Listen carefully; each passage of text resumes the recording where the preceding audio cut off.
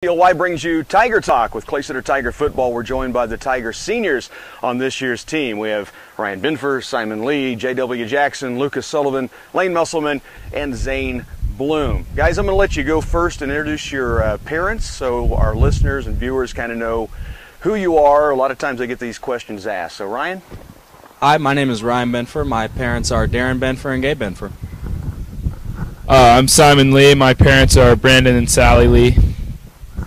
I'm J.W. Jackson. My parents are Jamie and Chris Jackson.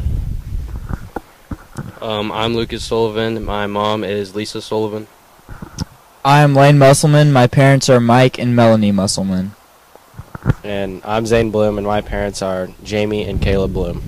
Okay, Zane, we'll just keep it down there with you since you get the mic in your hands. Um, I'm going to ask you guys to give me something about your four years as a Clay Center Tiger, this year or not, that will always stand out. It can be on the field, off the field. Ask this every year. It's just fun to get some some fun memories from you guys or exciting memories from you guys. Zane? Oh boy. Um, Hold that mic up. This, there you go. Perfect. Go ahead. Anything? I have no idea. A touchdown catch maybe against Chapman? Would that be a memory? Yeah, that'd be one. All right, we'll go with that. Lane, you got anything that stands out? The tradition of the hill that stands out. Practices always up the hill. Right behind us here. Lucas. Um, everything that stands out to me every year is uh, bike night. Bike night, always fun. Yeah, probably my favorite memory too is bike night. Uh, my favorite memory is the summertime weights that we do. It was a fun time with the guys. Um, I have a lot of great memories, especially from freshman and sophomore years with uh, Coach Casper and the guys in the transit van. Very good. I've heard stories of this before, in fact, coming back to and from ball games for that matter. So the season could be described like this. I heard him talking a minute ago. This is crazy. It really is. You guys have played so hard and so well to come up with games that have been so close. Ryan, how do you guys come back every week? Because you do. I mean, it's impressive to me that you guys have come back and fought your tails off when th- they've gotten stacked against you a bit. You've had some bad breaks. Ryan, Rhino Benfer, how does how does things how do you guys come back and just bring it every week? Well, I mean, really, there isn't any other option to it. I mean, you're either going to bring it every week or you're going to give up, and um, that's something that's been drilled into us. Is you just got to come out every week and fight. Every week's a new week. Every week's a new opponent. You can't dwell on how last week went. It's all about the new week.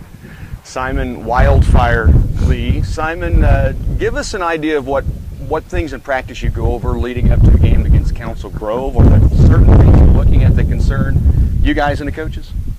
Well, I haven't been in practice these last two days. I've been out sick, but I've heard that they have a good quarterback and one good receiver, so a lot of uh, good plays from the DBs tomorrow night or Friday night will be good. Yeah, they do fling it around. Uh, Council Grove, the Braves, JW, J Dub. You get a chance to get to the quarterback after sitting out last week. That had to be so frustrating to be at home. You guys are out taking on Chapman. You ready to go this week? Yeah, it should be a fun game. Ready to go. Get another win. Yeah. Allow some room up front on that right guard position, and I know at the middle linebacker we'll have you back in there uh, making things happen. Lucas Sully Sullivan.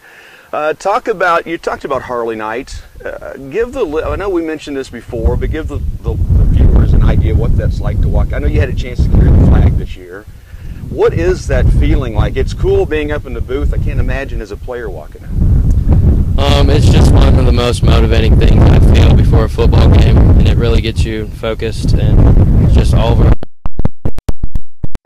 Turn it over to the missile, Lane Musselman. Uh, Lane, give us an idea when you get in the open field what it's like to know the end zone's there. We've seen it happen a few times for you, and it's fun to watch.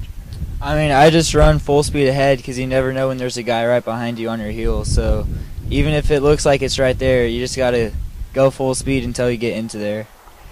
Zane, as I was getting the video prepared, we were having some problems getting audio going, and all I could hear you guys talking about was food. So, tell our viewers what your favorite food is and or favorite restaurant. Uh, it would definitely have to be uh, Raising Cane's chicken. Raising Cane's chicken. All right, Lane. Do you have a favorite uh, pregame oh. meal? You have a favorite food? My favorite food would have to be spaghetti. Is that part of the uh, Thursday night meals ever? Yeah, sometimes. I think not this year we haven't had spaghetti, but two years ago when we had meals, we definitely had spaghetti at least once. All right, Lucas? Um, I'm gonna have to go best overall food ever, probably mac and cheese. Mac and cheese, okay. J Dub, tell me. Uh, my favorite probably is Raising Cane's also. Okay. My favorite pregame meal would probably be all the various pastas that the senior moms make.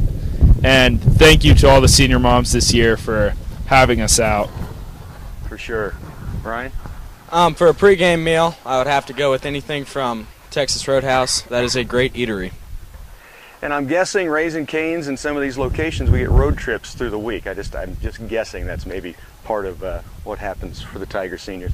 You guys have been so much fun to watch. Let's go get it one more time at home, maybe more, two times at home, if we get the win against Council Grove this Friday night, which I am counting on. Senior night at the Den. Come out and respect these guys. They've put together a great season as they go into senior night against Council Grove Friday at home.